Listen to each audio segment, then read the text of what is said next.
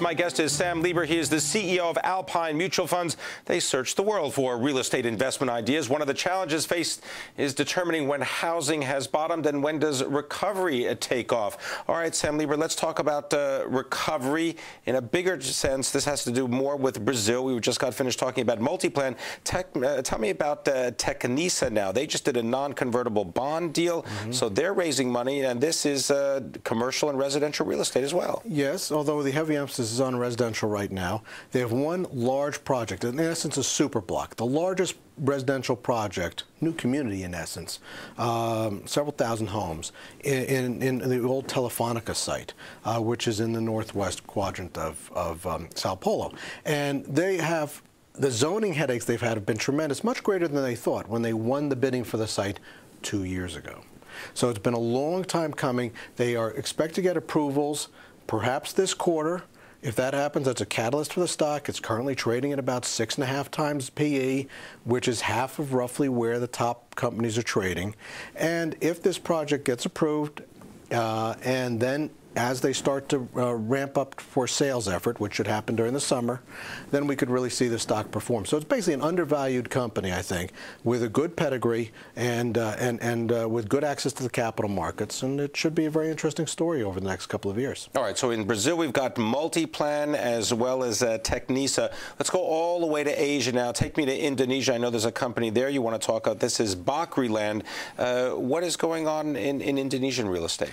Well, Indonesia is interesting. You've got a, a country with 280 million people, uh, but it really is, it, it, it is very much a developing market or emerging, still not even as far as, let's say, Brazil has, which, is, which has really exploded and taken off um, with, with strong consumption patterns. The consumption here is a little more contained, but I think that, um, uh, that the administration of Yudhoyono over the past um, uh, four years or so has really improved the um, uh, basic operations of the economy, in essence. The capital markets, confidence in the government, uh, control of the banking system and, and of interest rates. And so there's a lot of stability in there now. Plus, it is, of course, like Brazil, like Norway, and like a lot of countries that we, we think are very attractive, they are a producer of significant commodities. So we think that's attractive. But think of one thing.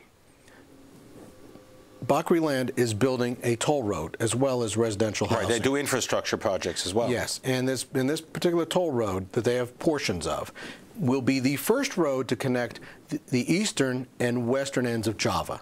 So think about a country with the almost the size of the U.S. that doesn't even have one road connecting the whole country as one superhighway.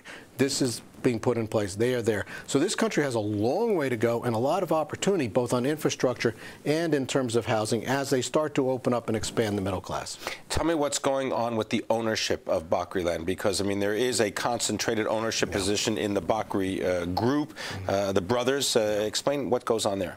Well, no, I think Bakrie brothers have been, um, uh, uh, took control of, of Bakrieland. Um, back uh, over the past decade. And they're, uh, they used a fair amount of debt. They're classic um, um, LBO players, and they've paid it down. The company's earned its way through and grown, and uh, and is now one of the largest uh, uh, developers in uh, in Indonesia, and is very well positioned for a number of projects. But they are using this for again the infrastructure and real estate, which makes sense because, of course, as you build out new real estate communities, in, in, the suburbs, you need the infrastructure to connect in in many cases. All right, so the concentrated ownership stake doesn't doesn't concern you there. You're, you're, no. you're not worried about that. No, as long as as long as they have a pattern of treating shareholders in a positive fashion.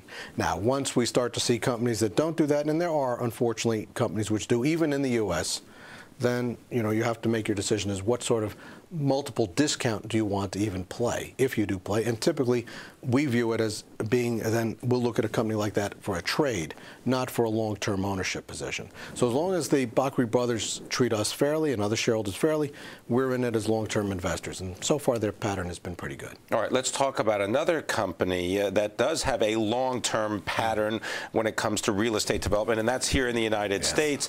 And this is Toll Brothers. Uh, this They have really managed to weather the the, the debacle in real estate and indeed uh, looking to add to their holdings. Why do you like Toll Brothers? Well, a seasoned management team, as most of the U.S. home builders have.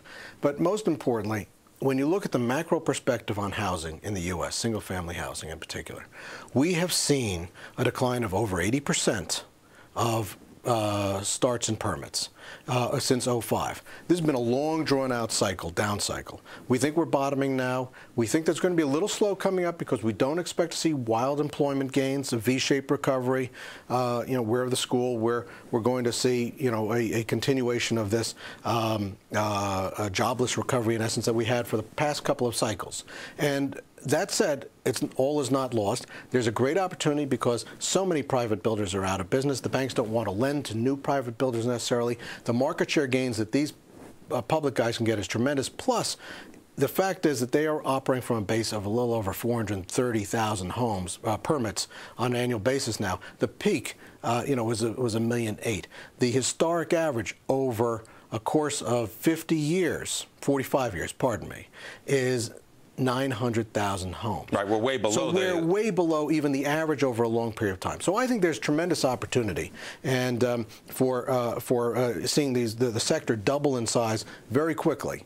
And when that happens, we'll start to see the profits flow not not significant this year, more meaningful next year, and quite Im impressive perhaps in 2012. Sounds like you need a little patience, though. You need patience, but if you've got a horizon of three to five years, you will make multiples on your investment. All right. I want to thank you very much, uh, Sam Lieber, coming in, the CEO of Alpine Mutual Funds, um, giving us a multiple of information. Thank you very much. Appreciate it.